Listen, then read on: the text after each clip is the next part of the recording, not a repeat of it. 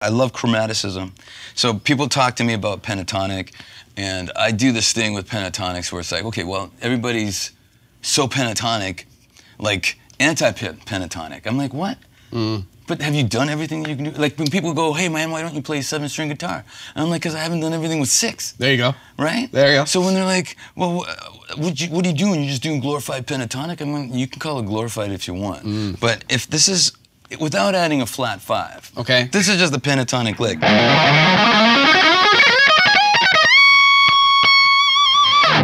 You're just changing the order a little bit Mm. and spreading it out. Yeah. Then when you get a flat five going, um, it's like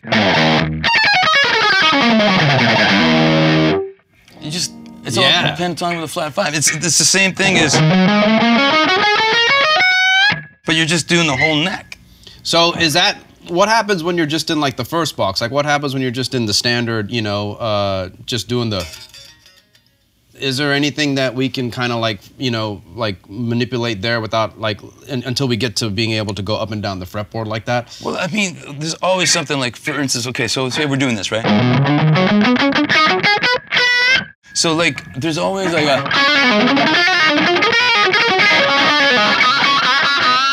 You know, there's that. There's like. Uh,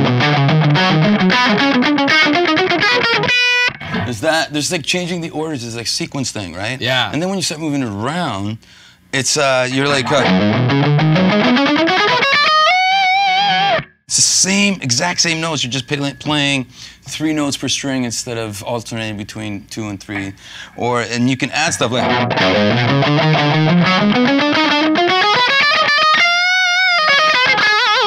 Tasty. There's all that stuff. Yeah. And then, to me, this is still pentatonic when I'm going like a.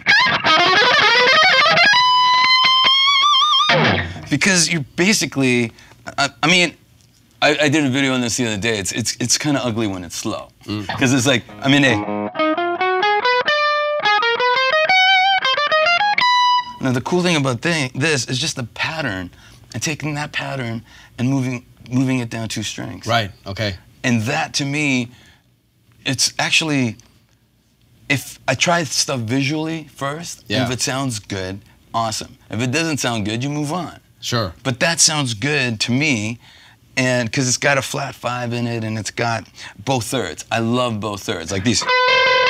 Right? I love. I love like- that. Yeah. Yeah. Yeah. like- and it's like uh, the other thing is too is um, pentatonic. I've done this a lot, but it's like you got your boxes right.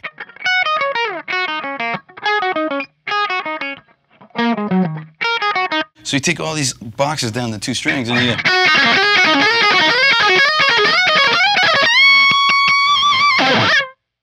Whoa! See, Whoa. that's never happened before. And then you take all the pentatonic. Did we get that on tape? And it's still in, baby. so tell us where you got the string pull trick from. No. Yeah, right. Hey, man. that's great. That's because it, it's like when it's shown like that, like when you hear it like that, it doesn't sound like the same old. Right. And that's what I'm trying. You know, people like. You can say whatever you want. I know what I like, and not everybody likes the same flavor ice cream. Mm-hmm. So we all have different. We like different tones. We like different. Uh, flavors of overdrive. Some people like the lush reverb and delay. We're playing dry today. Yeah. Right? Because I don't. I can't believe you told me to turn the reverb off. I, I, I don't, I don't know. It's like, man, I don't like him you anymore." Sure. But it's like, and then, see, this is also, I showed you all those little boxes, but in, if you want to change it around, I started, I turned it into a five note phrase. So I'm going, like, say, for instance.